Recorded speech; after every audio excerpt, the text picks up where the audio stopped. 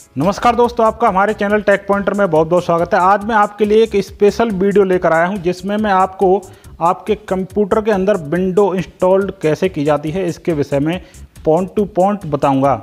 इस काम को करने के लिए आपके पास दो तीन चीज़ें होना बहुत ज़रूरी है। इसमें सबसे पहली चीज़ है आईएसओ फ़ाइल बहुत से लोग यह सोच रहे होंगे, यह आईएसओ फ़ाइल क्या है? तो यह आईएसओ फ़ाइल क्या है और यह कैसे बनाई जाती है, इसके विषय में भी मैं इसी वीडियो में आपको बताऊँगा। मैं आपको बता दूँ, यहाँ पर विंडो दो तरीकों से इंस्टॉल्ड होती है। या तो आपके पास बूटेबल डीवीडी होना चाहिए, या फिर आपके पास बूटेबल पेन ड्राइव होना चाहिए। यदि आपके पास बूटेबल डीवीडी है तो आप उसी से आईएसओ फ़ाइल बनाकर बड़े आराम से बूटेबल पेन ड्राइव बना सकते हैं, जिससे आप बिना डीवीडी या बिना डीवीडी राइटर के आराम से विंडो इंस्टॉल कर सकते हैं। क्योंकि आजकल जितने भी नए कंप्यूटर्स आ रहे हैं, उनके अंदर डीवीडी राइटर नहीं होता है, इसलिए आपको यूएसबी से किस तरह से आप अपनी पेन ड्राइव को बूट कराकर आराम से विंडो इंस्टॉल कर सकते हैं, इसके विषय में पता होना चाहिए। यहाँ पर मैं आपको एक चीज़ और बता दूँ, विंडो इंस्टॉल होने के बाद यहाँ पर ड्राइवर्स की ज़रूरत पड़ती है। यहाँ पर जितने भी पुराने कंप्यूटर्स आते थे या फिर लैपटॉप आते थे, उनके साथ में हमेशा कंपनी एक डीवीडी प्रोवाइड कराती थी, जिसमें उस लैपटॉप या उस कंप्यूटर के ड्राइवर होते थे। मगर आजकल कंपनियों ने यह डीवीडी प्रोवाइड कराना बंद कर दिया है और यह पूरे ड्राइवर ऑनलाइन उपलब्ध होते हैं।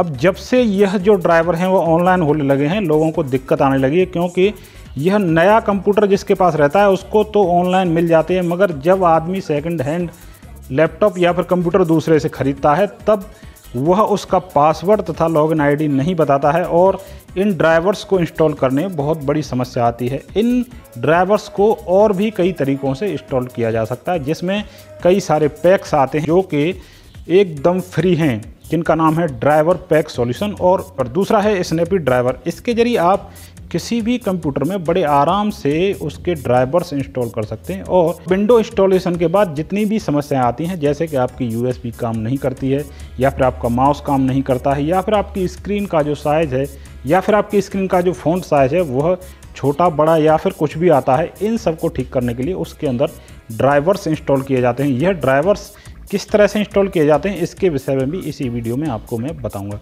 तो चलिए चलते हैं स्क्रीन के ऊपर। दोस्तों, मैं आ गया हूँ अपने डेस्कटॉप की स्क्रीन पर। यहाँ पर मैं आपको बता दूँ, आपके पास विंडो का जो भी सॉफ्टवेयर है, चाहे आप मार्केट से लेके आए हैं, चाहे आपने किसी वेबसाइट से डाउनलोड किया है, उसको यहाँ पर कॉपी करने के बाद इस तरह से आप रख लें, जिस तरह से मैंने रखा है। मैं आपको इसके बाद में इसका आईएसओ फ़ाइल किस तरह से बनाया जाता है, इसके बारे में बताता हूँ। आप यहाँ पर अपने क्रोम ब्राउज़र में जाने के बाद यहाँ पर सर्च करें image I M A G E burner. देखिए, यहाँ पर आ रहा है, मैं इस पर क्लिक कर देता हूँ।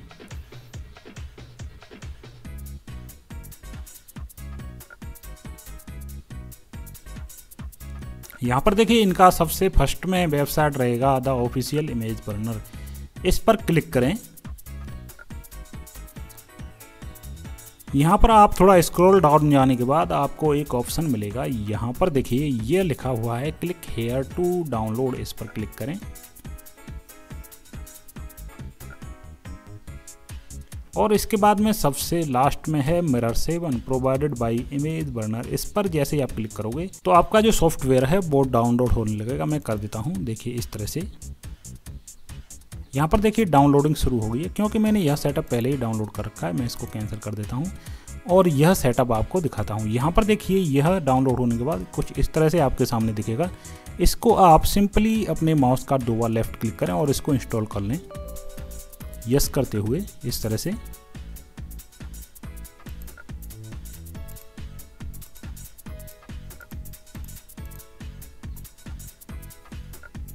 यह इंस्टॉल्ड होने में ज़्यादा समय नहीं लेता क्योंकि यह बहुत छोटा सॉफ्टवेयर है, केवल तीन एमबी का सॉफ्टवेयर है और यह डाउनलोड होने में भी ज़्यादा समय नहीं लगाता है।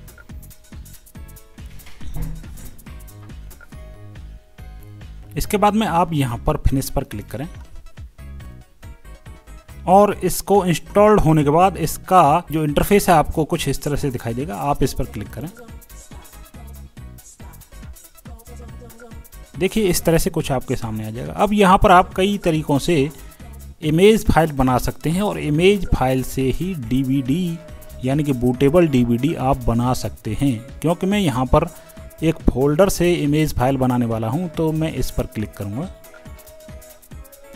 और यहाँ पर जो ऑप्शन दिख रहा है, इस पर क्लिक करने के बाद जहाँ पर भी आपने उस फोल्डर को कॉपी करने के बाद रखा है, उसको सेलेक्ट करें। और यहाँ पर आईएसओ फ़ाइल बनने के बाद आप जहाँ पर भी उसको रखना चाहते हैं, यानी मैं डेस्कटॉप पर रखता हूँ और इसका नाम रखता हूँ मैं विंडो 10 तो उसको यहाँ पर क्लिक करें। इसके बाद में सिंपली आप इस वाले ऑप्शन पर क्लिक करें। इस तरह से आप यस पर क्लिक करें। फिर से यस पर क्लिक करें। और फिर से इसको परमिशन दे दें। अभी देखिए, यहाँ पर आपकी जो डाटा थी, उसकी आईएसओ फ़ाइल बनना शुरू हो गया है। तो मैं इसको थोड़ा फास्ट फॉरवर्ड कर देता हूँ।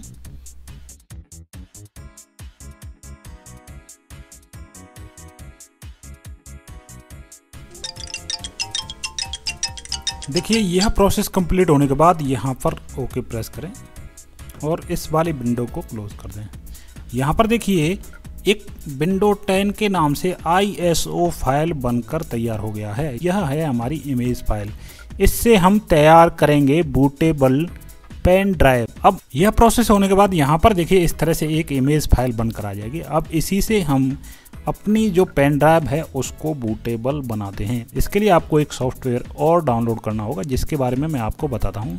तो मैं यहाँ पर खोल देता हूँ अपना क्रोम ब्राउज़र इस तरह से यहाँ पर आपको एक सॉफ्टवेयर डाउनलोड करना है, जिसका नाम है Rufus R U F U S और एंटर प्रेस करें। यहाँ पर सबसे पहला जो रहेगा, उस पर आप क्लिक करें। यहाँ पर देखिए, थोड़ा स्क्रॉल डाउन जाने के बाद में आपको दिखेगा डाउनलोड के नीचे रूफस 3.5 पोर्टेबल इस पर क्लिक करें, या फिर आप फुल वर्जन में डाउनलोड कर सकते हैं, इससे ऊपर वाले पर क्लिक करें। जैसे ही आप यहाँ पर क्लिक करोगे, आपका सेटअप इसके यहाँ नीचे आपका डाउनलोड होने लगेगा। इस तरह से यह डाउनलोड होने के बाद आप, मैंने यहाँ पर पहले से ही डाउनलोड करके रखा है तो मैं यहाँ पर आ जाता हूँ। देखिए, इस तरह से इसको आप ओपन करें और यस की परमिशन दे दें।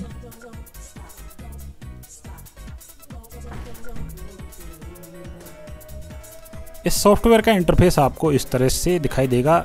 इसको आपको इंस्टॉल करने की कोई ज़रूरत नहीं। यहाँ पर देखिए, आपका जो आपने पेन ड्राइव लगाया हुआ है, वह यहाँ पर शो करेगा। इसके बाद में आप किस वाले इमेज से इसको बूट कराना चाहते हैं, यहाँ पर सेलेक्ट करें। ओपन पर क्लिक करें। यह वाला जो सेटअप है, आपका यहाँ पर आ जाएगा, इस तरह से।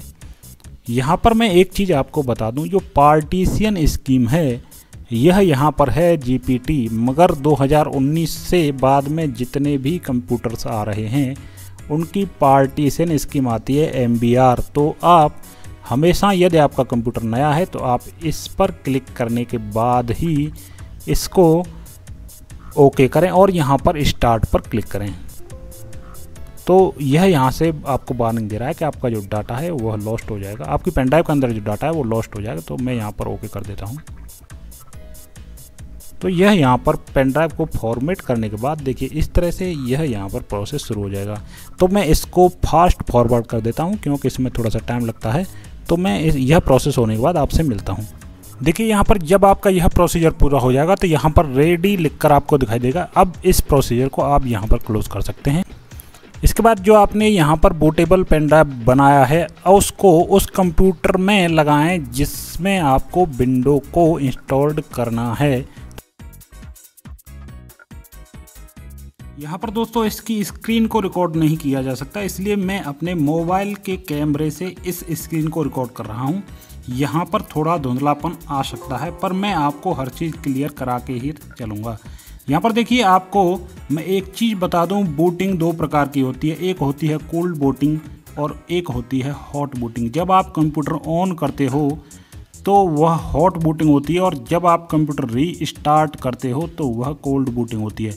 तो यह जो आप विंडो डालेंगे, वह कोल्ड बूटिंग पर ही इंस्टॉल्ड होती है, यानी आपको कंप्यूटर को ऑन करने के बाद री स्टार्ट बटन दबाना पड़ेगा, तभी यह विंडो इंस्टॉल्ड होगी। अब मैंने यह कंप्यूटर स्टार्ट कर रखा है, मैं इसको री स्टार्ट कर देता हूँ। यहाँ पर जैसे ही आपका सिस्टम रिस्टार्ट होगा, यहाँ पर आप F2 के बटन को बार बार प्रेस करें, जिससे इसमें बूटिंग के ऑप्शन खुल जाएँगे। देखिए अभी इस तरह से।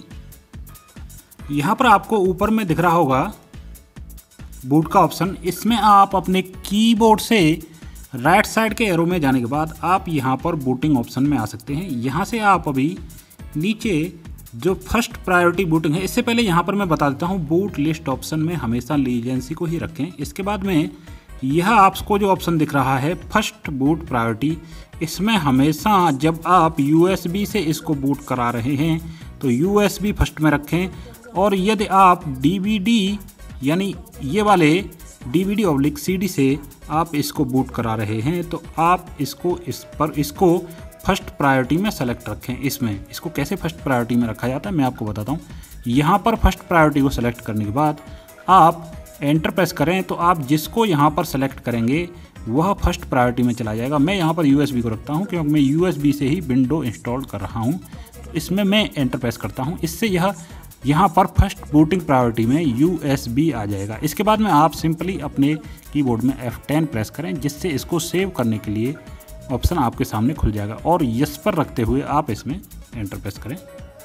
इसके बाद में आप अपने कीबोर्ड में F12 प्रेस करें। देखिए यहाँ पर दिख रहा है।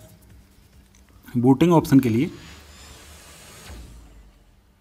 कुछ इस तरह से आपके सामने एक बॉक्स खुल कर आएगा, जिसमें आपको लीजेंसी में फ़र्स्ट में दिखाएगा यहाँ पर यूएसबी स्टोरेज डिवाइस अब यहाँ पर आप एंटर प्रेस करें, जिससे आपकी विंडो बूटिंग लेने लगेगी। देखिए इस तरह से।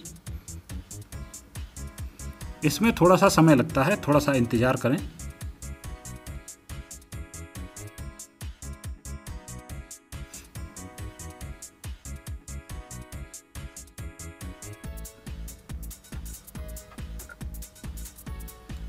क्योंकि मैं आपको पहले ही बता चुका हूँ कि मैं अपने कैमरा, मैं अपने मोबाइल के कैमरा से इसको रिकॉर्ड कर रहा हूँ, इसलिए थोड़ा धुंधलापन आ सकता है। यहाँ पर देखिए, आपसे लैंग्वेज चुनने के लिए पूछा जा रहा है तो मैं यह वाली इंग्लिश लैंग्वेज चुन लेता हूँ और फिर नेक्स्ट पर क्लिक करता हूँ और यहाँ से इंस्टॉल नाव पर क्लिक करता हूँ।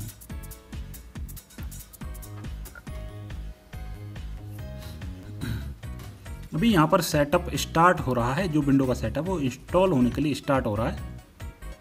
यहाँ पर आपको थोड़ा वेट करना होगा और कुछ भी छिड़ने की ज़रूरत नहीं।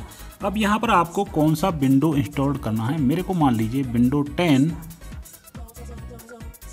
वॉल्यूम वाला मैं यहाँ पर, नहीं, मैं यहाँ पर रिटेल वाला इंस्टॉल कर देता हूँ। इस पर लाने के बाद सिंपली एंटर प्रेस करें, जिससे यह नेक्स्ट में चला जाएगा। विंडो 10 प्रो यहाँ पर लिखा हुआ है। देखिए, यहाँ पर कुछ इसकी कंडीशंस हैं, इसको आप एक्सेप्ट करें और इस तरह से नेक्स्ट बटन पर क्लिक करें। इसके बाद में आप इंस्टॉल विंडो ओनली एडवांस्ड पर क्लिक करें। कस्टम में जाने के बाद यहाँ पर क्लिक करें। अब देखिए यहाँ पर वह पार्टीशन आपसे पूछेगा जिसमें आप विंडो इंस्टॉल करना चाहते हैं। मैं यहाँ पर इसमें इंस्टॉल करना चाहता हूँ। तो पहले इसको मैं फॉर्मेट कर देता हूँ। यहाँ पर ओके कर देता हूँ। तो जो विंडो आपके में पहले से पड़ा हुआ था, वह यहाँ पर फॉर्मेट हो जाएगा। और यदि आपका सिस्टम एकदम नया है और उसमें विंडो इंस्टॉल कर रहे हैं तो यहाँ पर न्यू ऑप्शन में जाने के बाद आप इसके पार्टीशन इस तरह से बना सकते हैं। तो यहाँ पर ऑलरेडी पहले से पार्टीशन बने हुए हैं, इसलिए मैं इस वाले पार्टीशन में विंडो इंस्टॉल करना चाहता हूँ। तो मैं इसको सेलेक्ट रखते हुए नेक्स्ट पर क्लिक कर देता हूँ। अभी आपका विंडो इंस्टॉल्ड होना शुरू हो जाएगा। यह थोड़ा सा टाइम लेता है। तो हम थोड़ा सा इंतज़ार करते हैं। यहाँ पर देखिए, यह प्रोसेस पूरा होने के बाद अभी आपका कंप्यूटर री स्टार्ट होगा। यहाँ पर आपको डरने की ज़रूरत नहीं है। यह थोड़ा सा टाइम लेता है। और यहाँ पर पेन ड्राइव या डीवीडी का काम यहीं पर ख़त्म हो जाता है। चाहे तो आप जैसे ही आपका कंप्यूटर रीस्टार्ट होगा, आप उसको अलग निकाल के रख सकते हैं। इस तरह से देखिए, यह कंप्यूटर अभी रीस्टार्ट हो रहा है। और जैसे ये रिस्टार्ट होगा, आप अपनी पेन ड्राइव को बड़े आराम से अलग निकाल सकते हैं। अभी पेन ड्राइव की ज़रूरत नहीं है या फिर डीवीडी की किसी प्रकार की ज़रूरत नहीं है।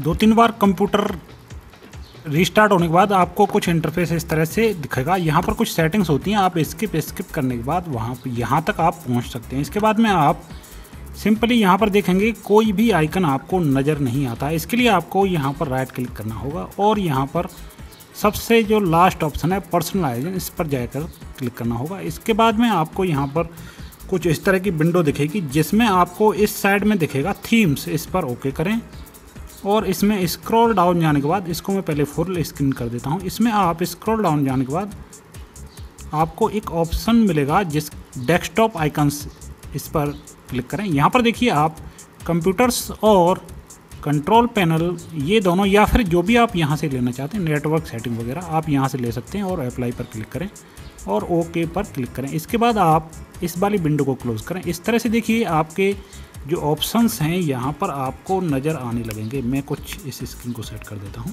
देखिए, इस तरह से।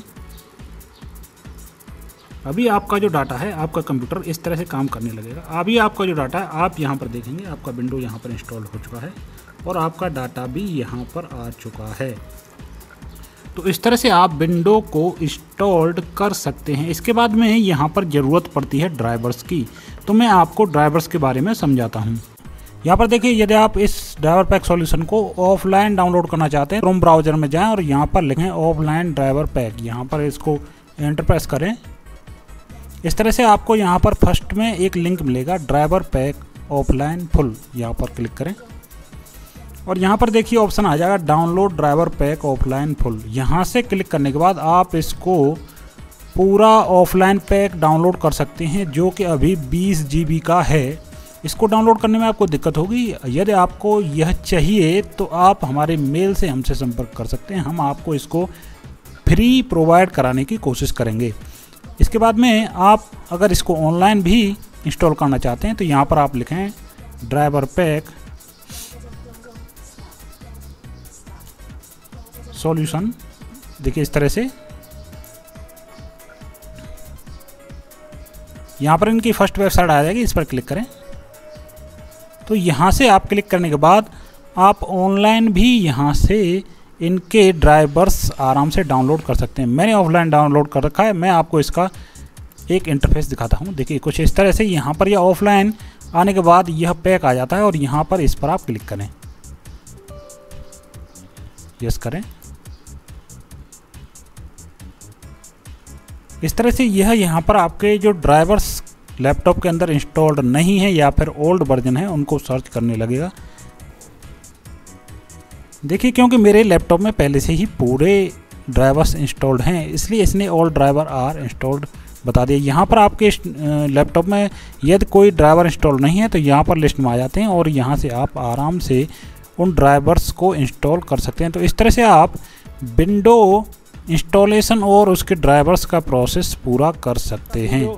तो दोस्तों, मैं आशा करता हूँ कि आपको आज का यह हमारा वीडियो अच्छा लगा होगा और इसके विषय में आप कमेंट बॉक्स में ज़रूर लिखें। यदि आपके पास आईएसओ फ़ाइल नहीं है या फिर आपको यह जो ड्राइवर पैक सॉल्यूशन है, इसको डाउनलोड करने में दिक्कत आ रही है, क्योंकि यह पैक बहुत ज़्यादा एमबी का है, यानी कि यह 20 जीबी का है। इसको डाउनलोड करने में आपको दिक्कत आ सकती है। इसलिए यदि आपको अगर इसको डाउनलोड करने में किसी भी प्रकार की दिक्कत आ रही है तो आप हमारे मेल के ज़रिए हमसे संपर्क कर सकते हैं। हम इस पैक को आपको उपलब्ध कराने की कोशिश करेंगे। और दोस्तों, इसी तरह के वीडियो पाने के लिए आप इस चैनल के नीचे दिख रहे लाल बटन को दबाकर इस चैनल को सब्सक्राइब ज़रूर करें, जिससे कि हमारे आगे आने वाले वीडियोज़ की नोटिफिकेशन आपको मिलती रहेगी। और इन वीडियोज़ को अपने दोस्तों के साथ शेयर करें। जय हिंद, जय भारत।